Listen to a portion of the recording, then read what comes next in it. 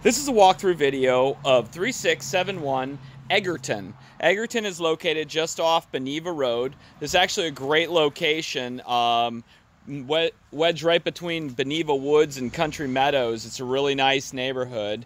Uh, Egerton is just a one block circle of, of uh, older houses that haven't been renovated. Some are nice and some are, some are rough like this one. This one has an opportunity um, the roof actually looks to be in somewhat decent condition.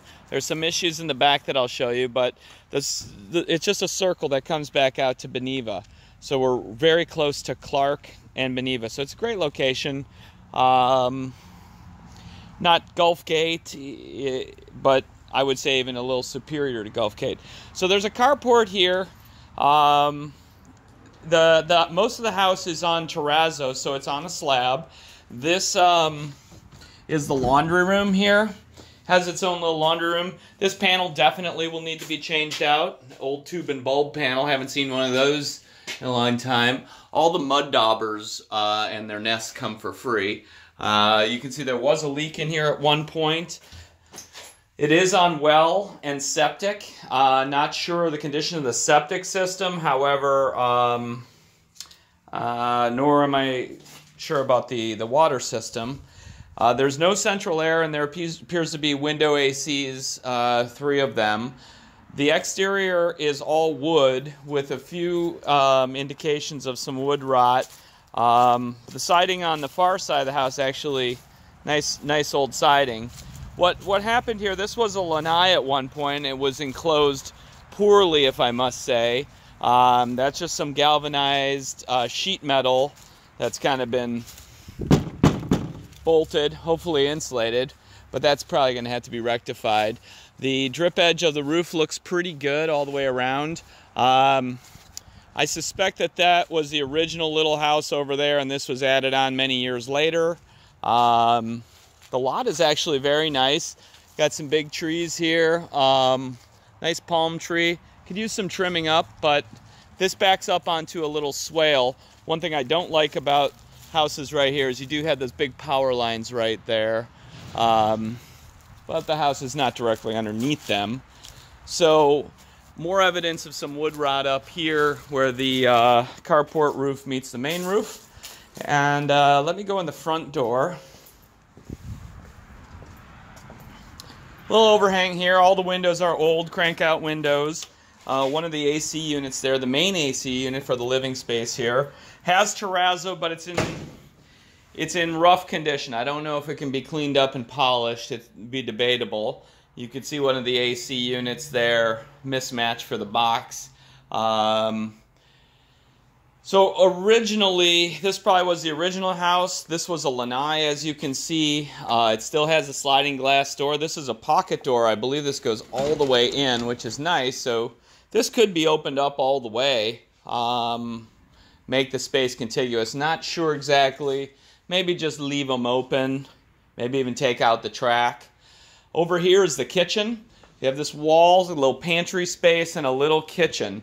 Um, not much to salvage here. Probably tear this all out, put a put a kitchen in, um, and have it more open with an island here and some cabinets underneath. Kind of rearrange the kitchen. It's, it's a nice space though. Um, this could be really nice. There's that side door that goes out to the laundry room. Uh, I'll start over here. So I walk through.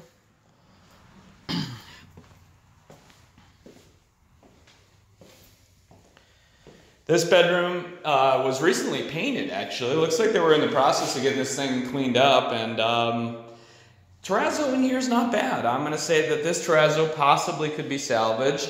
We have a little closet over here.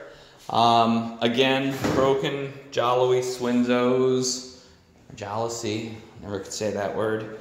Um, little hallway, old school linen closet and drawers, which actually kind of nice. Kitchen has, I mean, the bathroom here has tile, but it's pretty yucky. Might be able to be cleaned up and regrouted or even painted. Uh, vanity, toilet, I don't know, probably not worth saving.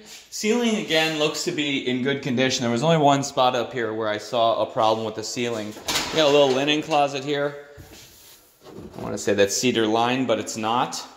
Uh, you can see some serious discoloration in the terrazzo here. I'm not sure what that's resulting from, um, and I don't know if it can be cleaned up or not. Debatable. Again, window AC, there is no central air in here, so there is no central air system, and I don't know if I would put one in. This is the master, well, it's master bedroom, so it's a master bath, and it's only a half bath, so just enough room for a little sink and a toilet not much else. Um, it's, it's an okay sized bedroom. You do have a closet here. And um, actually a walk-in closet, we'll call it. Another sliding pocket door that goes out to this um, lanai area. So not sure. It's a step down all the way around, unfortunately. Uh, the terrazzo runs over here. Not sure why there's a bed in the living room, but that's okay. Because over here, I'm stepping down into the lanai and then up again into what is another bedroom. I think this was added on. I can see evidence of recent drywall. Um, it's got closets. This is poured, so it's a slab. So, hmm, a newer window here, window AC. Terrible siding in here. Um, this is just some paneling. And this is not a pocket door. It's been painted. And I don't know exactly what I'd do with this. Um, the ceiling in here is interesting.